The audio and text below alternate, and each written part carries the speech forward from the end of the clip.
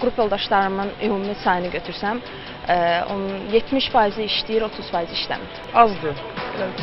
Mənim ətrafımda hamısı işləyir, amma ki mən belə fikirləşirəm ki, cavanların çoxu iş axtara-axtara gəzir. Həddindən artıq. Dü- Düzgün struktur seçilməyib. Yox. Bu qabiliyyət məsələsidir. İşsiz olmaq bu təbii bir şeydir. Hər kəs işsiz ola bilər, amma kimsə iş tapırsa bu artıq onların özlərinin onu istəməmələridir. çoxdur. Zavod yox, fabrik yox. Əvvəl var idi, indi yoxdur. Qalıblar belə. Yox, siz deyəndə yox. Yavaş-yavaş düzəlir. Çox, həddən artıq. Mən biləni yəqin ki, təhsilli insanlar həmişə iş tapır. Azərbaycanda yenə də təhsilin səviyyəsi aşağı. Universiteti qutaran çoxdur, amma iş tapan azdır. Məncə təhsilli insanlar elə həmişə iş tapacaq. Belə də var. İşçinin səbəbi işçi çoxdur ona görə. Valla dəqiq deyə bilmirəm tənbəllikləridir, yoxsa nədəndir işsiz adamımız çoxdur. Əlbəttə ki, çoxdur. Böyüklərimizin diqqətsizliyi, iş yerləri olmamazlığı. Bəli, mən özüm də hal-hazırda işsizəm. Ya pul istəyir, ya deyir arxanda bir adam olmalıdır. Bəli, çox iş müəssisələrinin olmamasıdır. Yoxdur, yəni çox adam mənim ətrafım, yəni mən özüm rayondanam, mənim ətrafımdakı çox sinif yoldaşlarım olsun, dost tanış olsun, çoxsu işsizdir. Bəli, çoxdur. Öz tanışını axtarır iş yerlərində. Tanış adamlarla işləyib qurmaq istəyir. Ancaq tanışlar, tanışlar hamı öz ətrafını qurur. İndi savadsızlıq çox yayılıb. Savadsızlığın çox yayılması da məncə elə bunun səbəbidir ki, oxuyanlar çoxsu diplomla evdə yatır. Ona görə də elə işsizlik bundan məncə yaranır. Savadlılar qalıb, savadsızlar işləyir. Öz ixtisasına iş yeri çox az. Demək olar ki, yoxdur. Yox, işləyən adam daha çoxdur nəinki işsiz. İşsiz olmağa səbəb gənclərdən götürək də.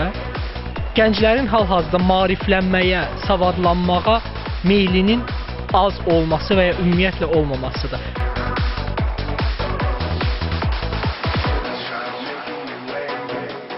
Rəsmi statistikaya görə Azərbaycanda işsizlik səviyyəsi 5.7%. Bununla belə təbii ki, qeyri-rəsmi tədqiqatlar göstərir ki, Azərbaycanda işsizlik səviyyəsi rəsmi elan olunan, yəni Dövlət Statistika Komitəsinin elan etdiyi rəqəmdən daha çoxdur. Müəyyən əmək qabiliyyətli insanlar mövsüm olaraq işləyirlər. Məsələn, onlar inşaat sektorunda və ya turizm sektorunda yalnız mövsüm mövsüm olaraq işləyirlər ki, bu da təbii ki, mövsümi işsizliyin yaranmasına gətirib çıxarır. Yeni yaradılan iş yerlərinin sayı işçi qüvvələrinin sayına proporsional olaraq artmır. Bu da təbii ki, işçi qüvvələri, yəni əmək qabiliyyətli insanların sayının artması tempində bəzi hallarda onların işlə təmin edilməsi problemi yaradır. Çox hallarda əmək müqavilələri bağlamır və ya bağlanan əmək müqavilələrində işçilərin əmək haqqı aşağı göstərilir.